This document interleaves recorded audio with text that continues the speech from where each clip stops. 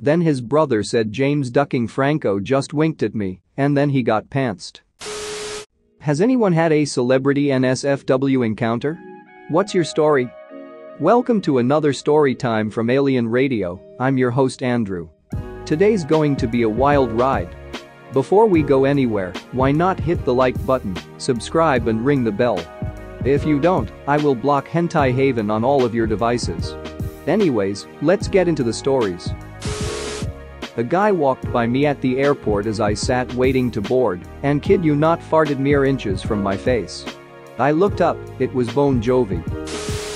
Saw Tim Allen's mistress sprinting out of his trailer after his wife showed up at the set of one of those Santa Claus movies he was filming. I rode in a hotel elevator with Red Sox pitcher Derek Lowe at like 2 in the morning while he was making out with two women at the same time.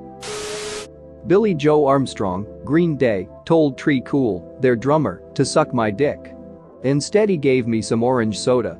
I'm straight, it worked out. I had a friend who met Jason Segel at a bar in La. She said he was fairly drunk and all over the place with their conversation. At point he just point blank said to her, so are we gonna have sex? She said, no, he responded okay and then just walked away back to his table. Back in the 90s, when Jean-Claude Van Damme was the crap, a relative was at a Vegas hotel and went down to use the sauna. He was in there shooting the crap with a business partner and in walks Van Damme. He says if you are who I think you are, you are Op's favorite action star, and Van Damme confirmed and told him to tell me hello from him. Everyone was nude. This wasn't me. It was my mom. My mom was on her honeymoon in Hawaii when she bumped into Oj Simpson before he went crazy. He looked at her and asked to head to his room. She pointed at her ring finger and said oh I just got married he took her hand and put it down, looked at her and said that matters why? In the end she called over my dad, and he took a picture of her with Oj, which is now forever in her honeymoon album. This is actually from a director I worked with. In the 80s, he was hired as a backstage dresser for a Broadway show that had Patti LuPone in it, and it was his first show.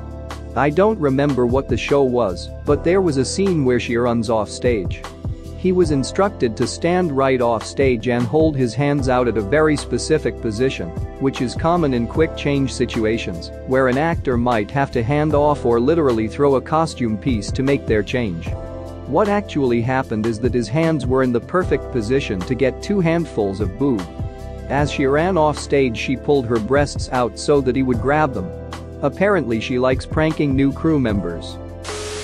Did a gig with the band Less Than Jake many years ago as a sound guy. They arrived at the venue, bigger than life, promising the whole local crew we'd have a great time, and at the end of the night, beer and blowjobs for all. Can't beat that, right? Show ends, trucks loaded, singer is still hanging around and I walk up to him. He gives me a big hug and says something like didn't I tell you it'd be a good time? Didn't I promise? In fact it had. It was a good night. But I turned to my new best friend and said it was, but I don't drink, and my dick is still in my pants. This place is pretty empty and I'm here hugging you. Chris, the singer, isn't a particularly large guy. I am. There was a moment of absolute fear in his eyes as I hugged him tighter until he realized I was just kidding. We ended our embrace, they got into their bus and away they went. Fast forward almost a year, Less Than Jake is playing the Warped Tour Ran I'm in the crowd.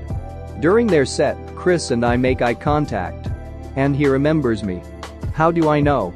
He proceeds to yell into his mic. Hey!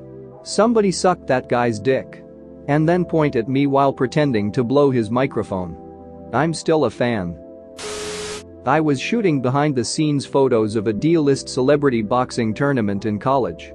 After a long day of witnessing the power of egos and 15 mins of fame, the Octomom giving me Advil for my back, Coolio calling me a G, and seeing Oz Seiko put on fake tattoo sleeves, I was ready for a drink. I had been talking to an absolutely beautiful ring girl, and she wanted to join me for a beer after the fights ended. We went upstairs to the bar and she went to get us a table. I went over to the bar and while waiting for the drinks, ducking Ron Jeremy himself came up next to me. He said he had seen me talking to the girl all night and offered to be the wingman for me. Luckily my confidence was already sky high for already getting the girl to come drink with me, so I politely declined and went to join her waiting at a table nearby. He told me to stick my thumb in her butt later for him. Edit. I failed all of you that night Reddit. We made out for a bit, but she had a flight to catch and I had to drive home. Talk for a bit over texting, but she was never back in my area. I was in the bathroom of a restaurant in Vegas taking a massive crap, and walks someone and sits in the next stall. After a couple moments I hear holy crap what died over there, I apologize and eventually get up and wash my hands. As I was drying them the other stall flushes and out walks Ryan ducking Reynolds. If I hadn't have just crap I would have crapped my pants. He looks at me and just shakes his head and asks what I ate so that he doesn't do this to his wife. I just muttered Subway.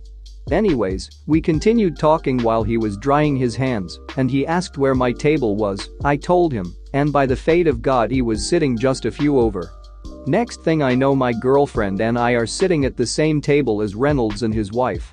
Honestly the best 3 hour dinner I've ever had. I've met other famous people before, but I've never met anyone as genuine and down to earth as him. Edit. Of course this gets all the attention and doesn't get buried. To answer some questions, it was Blake Lively, yes he picked up the tab, yes they love each other, I'm no expert, but what they have is what I want in the future, and yes, his on-set personality seems to be his off-set personality. Probably the one time in life I'll be happy that I produced mustard gas and almost killed my favorite celebrity. My friend pantsed, full pantsing with penis out, and the whole shabang, his brother and James Franco saw everything. It was near where John Lennon was shot, by that patch of flowers, can't remember what it's called. His brother was wearing a James Franco selfie shirt while we were in Nick. Franco pointed at his shirt and did like a finger gun and wink thing, sounds weird, but looked really cool at the time. Then his brother said James ducking Franco just winked at me, and then he got pantsed. Franco's eyes bulged a bit, and he started laughing and shaking his head, he never broke pace, just kept walking. After he was a ways past us he loudly said rockin' shirt man. Edit. Sometimes I lay awake at night wishing I would have been the one who was pantsed. Imagine being able to tell your grandkids that the James Franco saw your throbbing penis in Nick. The wind softly blowing across your exposed schlong as a smile forms on Franco's face. Imagine being the center of James Franco's world, if only but for a second. I know as soon as he graced me with his wink, the blood would rush to the tip of my penis, and then the climax as my pants dropped. Just imagine. Not NSFW as in sex, but had a rather amusing dicks out moment discussing Shakespeare with Leslie Nielsen. I was in Stratford watching a production of Hamlet starring one of his friends. He was sitting somewhere above us, in a private section. After the applause died I made a beeline for the door, I was starving, having had to skip the requisite pre-theater meal, and leveled the head of his entourage bodyguard with my shoulder when he stepped out into the aisle. I still don't know if the guy was protection per se, but he was modestly big and dressed like one. Mild commotion ensues, with lots of Canadian apologizing all around. Nielsen throws a karate stance and then starts laughing his ass off. We happen to end up in the same restaurant later that evening. I hit the washroom, and as I was about to have a piss, and in strolls Nielsen. He notices me, and then, as awkwardly as possible, chooses the urinal directly next to me and unzips. He starts telling me, in classic Nielsen deadpan, how he fired the guy, one week away from retirement, how his kids are going to go hungry, not enough money to buy his wife clothes, which is fine because she's pretty good looking for an amputee, etc. I just kind of default into listening mode because it was hilariously weird. After a bit he looks over at me, as drolly as possible, and says, kid, I'm three quarters of a century old. This takes a while. You gonna say something? So I asked him about the play and how he felt his friend had handled a couple of notoriously tricky scenes. Our conversation, dicks in hand, was largely confined to the comic aspects of playing Hamlet, as you'd expect, but while brief it was illuminating. Eventually, decorum allows his zip to dictate my zip. We wash our hands, still chatting, and then head back out. Outside the washroom he extends his hand and says, rather conventionally, well, it was a pleasure, Varro, and, impulsively, I shake it. He holds on just a little too too long and then starts grinning lewdly at me and repeats, a pleasure, I ducking lost it. He walks back to his table. Rip you glorious son of a bitch. Thanks for watching. What did you think of the story time? Let me know in the comments below. If you liked the video smash that like button and subscribe so you don't miss any more story times.